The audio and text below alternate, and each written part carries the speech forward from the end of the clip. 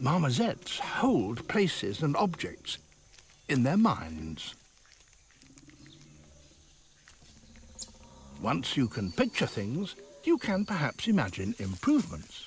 The marmoset family seem to. They farm sap from trees.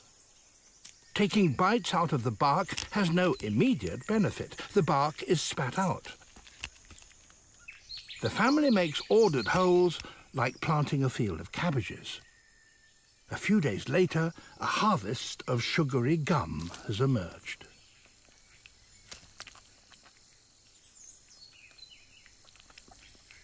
Planning ahead is clever, but so are your neighbours, waiting for you to do all the work. The family next door launches raids every few days.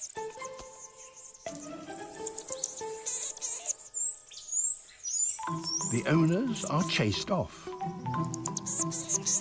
And the invaders gobble up as much sap as they can.